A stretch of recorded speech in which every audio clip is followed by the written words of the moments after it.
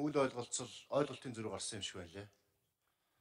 Бид нар үндсэн хуулинд хөгжлийн бодлого төлөвлөлт хөгжлийн бодлого маань туртаа байх, тодорхой байх, хоорондоо уялдаатай байх энэ заалтыг суулгаж өгсөн.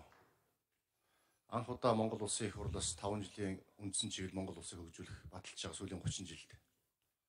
За урд нь бол дунд хугацааны бодлого гэдэг 4 4 жилийн засгийн үйл ажиллагааны хөтөлбөр жил бүрийн Монгол улсын нийгмийн эдийн засгийг хөгжүүлэх үндсэн чиглэл буюу жилийн төлөвлөгөө дүүндээ уялдуулж төсөв баталдаг байсан.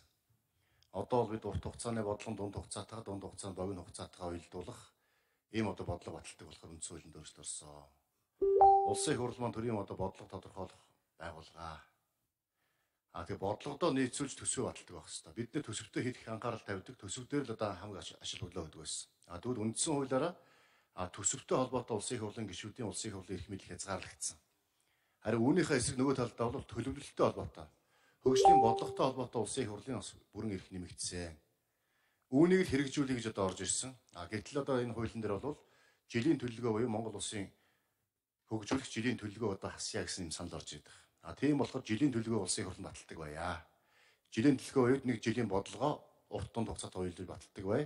А үүндээ нийцүүлж засгийн газар маань төсөв оруулж ирээд төсөвдөр бид бол эрх мэдлээ бол нэлээд хязгаарлуулсан.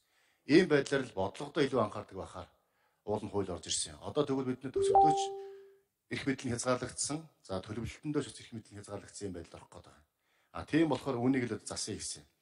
Хөгжлийн бодлого төлөвлөлтийн тухай хуулийг дагалдуулж улсын хурлын тогтоол гарсан. Үүндээ бол Монгол улсын хөгжлийн бодлого төлөвлөлтийн одоо хуулинд нийцүүлж төсвийн болон холбогдох бус баримт бусад одоо хуулиудыг нийцүүлж өөрчлөлөөр гэсэн одоо үүргийг засгийн газарт өгсөн. А сая орж ирэхдээ бол төсвийн тухай хуулинд уялдуулаад бус хуулиудад өөрчлөх юм одоо асуудал ороод ирсэн байл. Үүнээсээ болоод нэг жоохон хуулийн орондоо зөрчил үүссэн. Үүнийг засъя гэж байгаа маа. Энийг бас манай Хөрлөбаатар сайд ойлгож байгаа.